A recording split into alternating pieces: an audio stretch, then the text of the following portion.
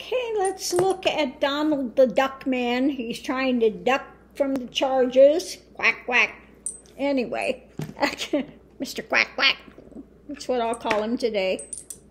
So let's look and see what quack, quack, what he um, was think he was doing. What did he think he was doing in taking classified information out of the White House, 15 boxes of stuff and things that he shredded, okay, was shredding, which is illegal. What was he thinking? So we're going to look at that first. What in the world was he thinking?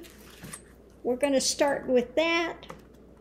What was Quack Quack thinking about taking this boxes of documents to Mar-a-Lago? Oh my goodness. First thing out, um, okay, immediately what I see with that, he wanted to keep a lid on things, okay? Things that were uh, emotional to him. He's emo- you know how emotionally he is tied up with everything that you know the narcissist everything revolves around him and he doesn't want them to have that information he wants to keep a lid on things because he knows that this could cause a struggle and i think it was also a struggle within himself of knowing if this stuff became um, became readily available so he took it with him okay, in the center of it all. Yeah, evaluating uh, what he had done. And, and, you know, of course, people are not happy with it. He thought if he took it, he could have a victory. Okay, I'll just take it with me. They don't have access to it. I'm, I'm good to go. I'm easy breezy. Okay. So let's see what we have coming up. Yeah, he thinks that he is the uh, grand poobah the king, I'm wealthy and I can do what I choose. Okay? And also, an abuse of power, he could make money off of it. He these are classified secrets. Classified secrets that he could use and abuse. Okay? He could abuse them. Okay? and he is not above selling selling information okay so underneath of it all we have taking action now this could be either for me the female is shakti movement okay the uh, male is prior to that, maybe, you know, kind of sitting with things. It can be that. Or this could be ones like Pelosi or other people that are wanting to take action. Looking at the January 6th thing and other things that he's doing, it could also be that.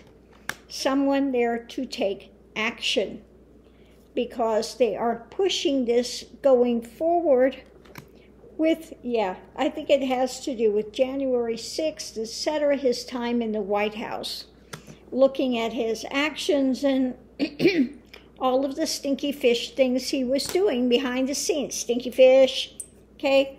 Um, the, the villain, okay? So, looking at all the villainous stuff he was doing behind the scenes. So, he just thought he could take it and uh, keep a lid on things. Okay? So they can't investigate.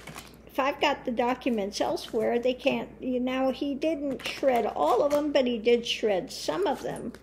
Okay? So they are looking at possible, asking the DOJ about this if if there could be possible charges. So let's look and see what we have with that. Could there be possible charges, whack whack, for him taking things out of the office down to Mar-a-Lago, especially classified documents? What is the Justice Department going to say about that? Okay, let's look and see what we have. Okay. Let me see what's with it. Okay, working on it. That it's something that they're working on that they're going to have to look into into um, what's proper, the things you can have, the things you can't have. Okay, um, looking at again what he was holding on to, what he was taking with him. Uh, in the center of it, not a surprise, investigating. They're going to look into it deeper. Okay, for the abundance of stuff that he took, because he took quite a bit of things with him. Okay? And these, again, are things he could sell, possibly to foreign powers. Um, and going forward, we have this is going to be, it's going to take some time looking into it, as often, okay? Uh, the celebratory thing um, was he in uh, cahoots with somebody else? Okay. And what did they think they were going to get out of it? Who was there to prosper from it? Who was tied up with that? Okay. That it's going to bring an end point to something.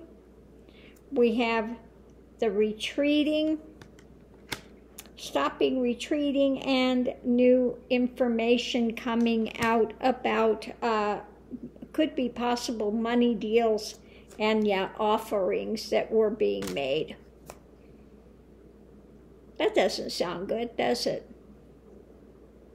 Um, so yeah, there may be an offering in the mix, or it could have been him uh, perhaps offering to sell information. Uh, but some sort of an offer there and um, just looking at what documents he has. Yeah, so I think it's going to take a while before they finally sort it all out, but they are looking into it possible, could be possible criminal stuff. You can't take documents like that um, those belong to the presidential archives for history. Okay? Uh, so they can go back and look at somebody's presidential time later in history and see all the things that were going on there. So we'll have to watch and see what's going to happen to Mr. Quack, quack, quack, quack, the con man. Okay? Uh, just He is in the soup. I tell you, the the, the, the quacker is in the soup, and uh, it's it's heating up. It just I just see the frog in the water where it heats up. You know, little by little, it's heating up, heating up, heating up, and he's going to get cooked before he knows it. So I'm going to leave this here. Oh my goodness, let's have good vibes today. Hope so. And let's go onward and upward and just watch these dominoes teetering and waiting for that first one to fall. And then they all go in pretty rapid succession after that. Thanks for tuning in. I'll see you online.